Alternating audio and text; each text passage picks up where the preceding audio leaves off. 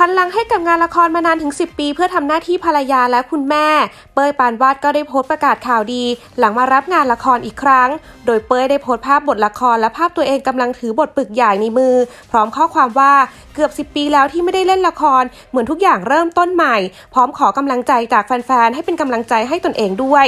ทางด้านสามีป๊อปนิธิก็เข้ามาส่งรูปชู 2 นิ้วให้กำลังใจภรรยา เป้ยเลยตอบกลับไปว่าขอบคุณสามีที่อนุญาตให้เล่นบท love scene แถมเพื่อนๆในวงการและแฟนๆ ก็ต่างเข้ามาแสดงความยินดี และรอคอยดูผลงานของนักแสดงสาวเป็นจำนวนมาก โดยละครเรื่องล่าสุดของเป้ยได้แก่เรื่องราชินีลูกทุ่งเมื่อปี 2555